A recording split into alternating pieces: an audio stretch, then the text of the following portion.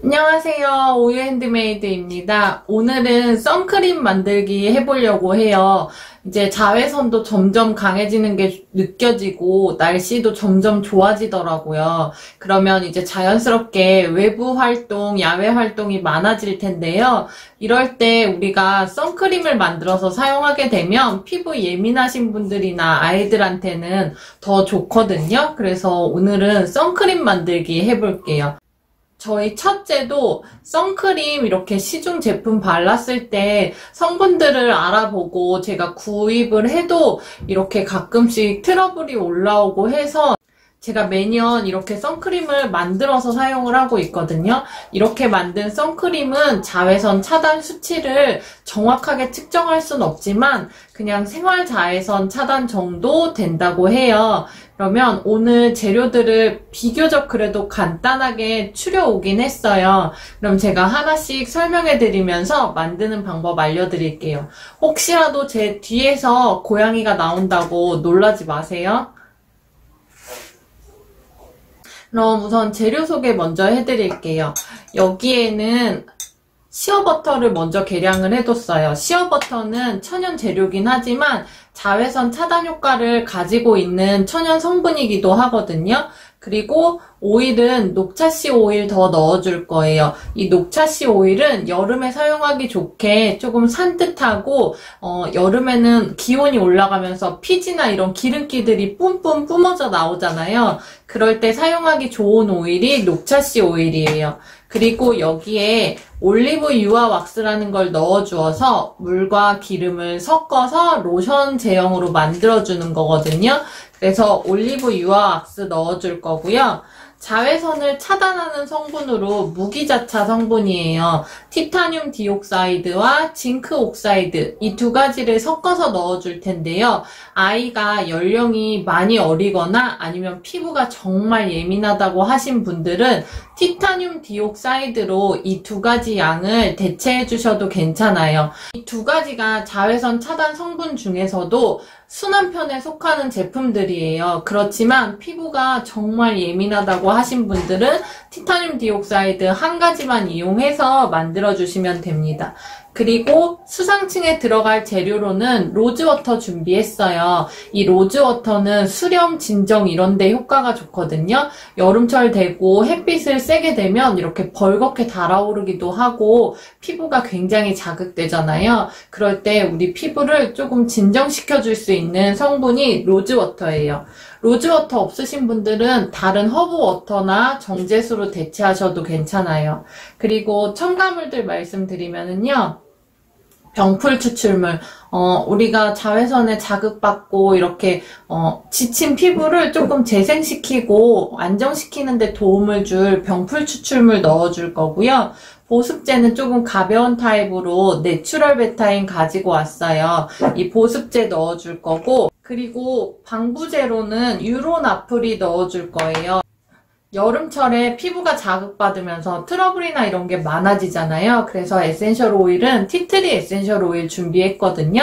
그러면 로션 만드는 방법은 천연 화장품 만들기 중에서도 조금 어렵고 복잡해요. 그래서 제가 지금부터 만드는 방법 차근차근 알려드릴 테니까 어렵게 생각 마시고 따라오세요.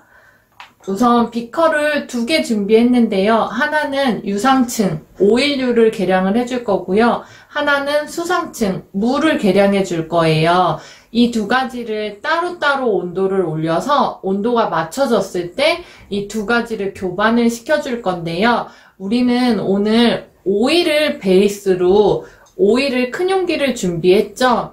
양은 더 적지만 오일을 큰 용기에 준비한 이유는 이 오일에다가 물을 넣어줄 거예요. 물에다가 오일을 넣을 때와 오일에다가 물을 넣을 때 로션이나 크림의 제형이 다르게 되거든요. 그런데 우리는 오늘 오일에다가 어, 물을 넣어서 선크림을 만들어 보도록 할 거예요. 여기에 녹차씨 오일 개량해 보도록 할게요.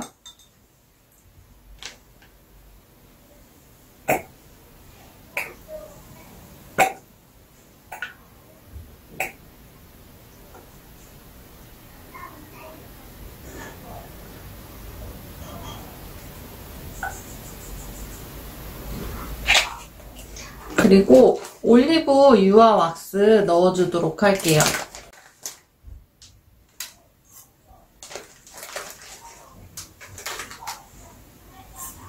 그리고 여기에 titanium dioxide와 zinc oxide 계량해주세요.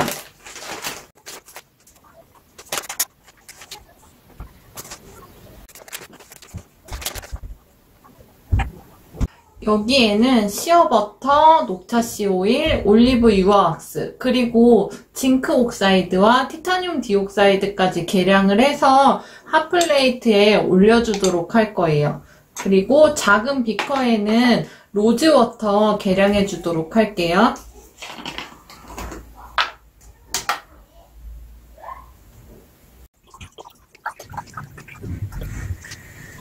그리고 나서 이 두 가지 재료들을 핫플레이트에 올려서 온도를 올려주도록 할게요.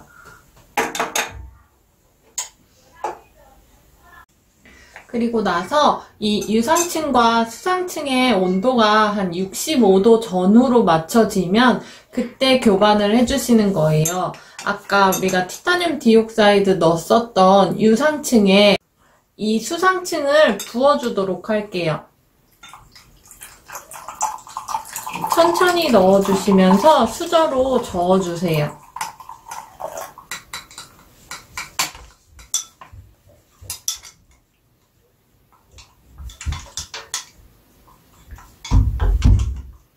이 과정에서 블렌더를 사용하셔도 되는데 이렇게 수저를 이용해서 만들 때가 백탁이 더 없이 발림성이 좋아지거든요. 그래서 저는 이렇게 수저로만 저어서 만들고 있고요. 이렇게 만든 선크림은 시중 제품에 비해서 사실은 백탁이 있는 편이에요. 그래서 최대한 이 백탁을 줄이기 위해서 저는 수저로 저어서 만들어주고 있어요. 온도가 떨어지면서 점도가 생기기 때문에 천천히 한 방향으로 계속 저어주시면 됩니다.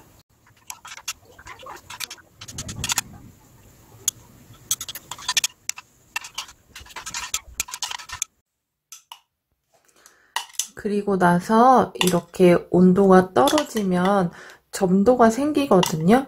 계속 저어주면 그러면 첨가물들 넣어주도록 할게요. 병풀 추출물 넣어줄게요.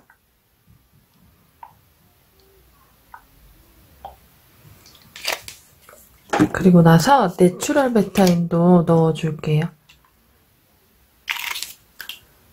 그리고 tea tree essential oil도 넣어줄게요. 그리고 나서 방부제에 넣어주도록 할게요.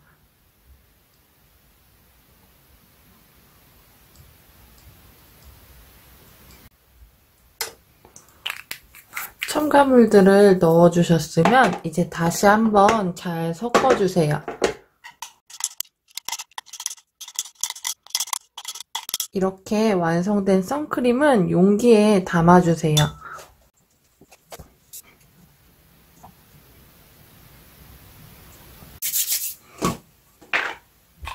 뚜껑을 닫아주시고요. 그 다음은 이제 어떤 제품인지 라벨링 해주시면 됩니다. 이렇게 만들어진 선크림은 실온에서 한두 달 정도 두고 사용하시면 되시고요. 다른 선크림과 마찬가지로 야외 활동하실 때 한두 시간 간격으로 더 발라주시면 자외선 차단 효과가 더 좋아요. 그리고 색상이나 향이 변질되면 바로 폐기해 주시면 됩니다. 그러면 제가 바르는 거 한번 보여드릴게요.